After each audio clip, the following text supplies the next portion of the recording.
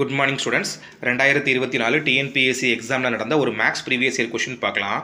The total surface area of a solid right circular cylinder is eight eighty centimetre square and its radius is ten centimetre find the height of the cylinder சரி அப்போ நான் என்ன பண்ணுறேன் முதல்ல ஒரு சிலிண்டரை எடுத்துக்கிறேன்.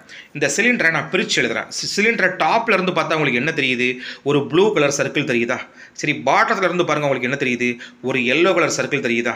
இதை ரெண்டையும் கட் பண்ணி ரிமூவ் பண்ணிவிட்டு அந்த சர்க்குலர் பகுதியை அப்படியே நீங்கள் விரித்து பாருங்கள் உங்களுக்கு என்ன தெரியும்? ஒரு ரெக்டாங்கிள் தெரியும். கரெக்ட்டுங்களா அந்த ரெக்டாங்கிளோட ஹைட்டு ஹெச் அந்த ரெக்டாங்கிளோட லென்த் எவ்வளவு?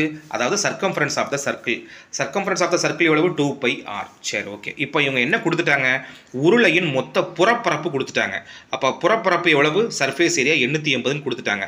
நமக்கு இந்த டயக்ராம் படி area of the blue circle plus area of the yellow circle plus area of the rectangle இது எல்லாத்தையும் கூட்டினா எனக்கு என்ன கிடைக்கும்? எண்ணூற்றி எண்பது கிடைக்கும். கரெக்டாக அப்போ area of the blue circle plus area of the pink rectangle plus area of the yellow circle இது எல்லாத்தையும் கூட்டினா எதுக்கு ஈக்குவல் அவங்க கொடுத்தா எண்ணூற்றி எண்பது சதுர சென்டிமீட்டருக்கு ஈக்குவல் சரி.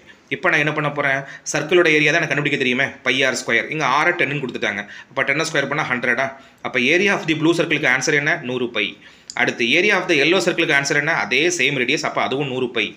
அடுத்து area of the pink rectangle ரெக்டாங்கிளுக்கு formula என்ன?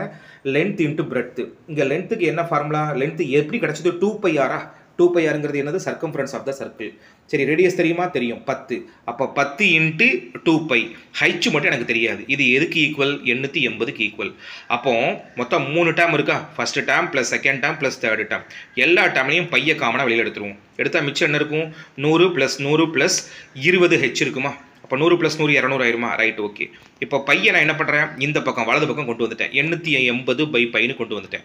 இப்போ என்ன பண்ணுறேன் எண்ணூற்றி எண்பது பை பையை இருபத்தி ரெண்டு பை ஏழுன்னு போட்டு தலைகளை போட்டு ஏழு பை இருபத்தி ரெண்டுன்னு கொண்டு வந்தாச்சு. சரி ஓகே அப்போ இருபத்தி ரெண்டையும் எண்ணூற்றி எண்பதையும் கட் பண்ண என்னவாகும்? நாற்பதாயிரமா ஒரு இருபத்தி ரெண்டு இருபத்தி ரெண்டு நாற்பது இருபத்தி ரெண்டு எண்ணூற்றி எண்பது இன்ட்டு ஏழு. அப்போ நாற்பது இன்ட்டு ஏழு எவ்வளவு? இரநூத்தி எண்பதா? சரி.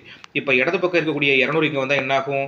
இரநூத்தி எண்பது மைனஸ் இரநூறாயிரமா அப்போ இருபது ஹெச்ங்கிறது எண்பது. அப்போ ஹெச் எவ்வளவு ஹைட் எவ்வளவு எண்பது பை இருபது நாலு சென்டிமீட்டர் ஆப்ஷன் டி தான் கரெக்டான ஆன்சர்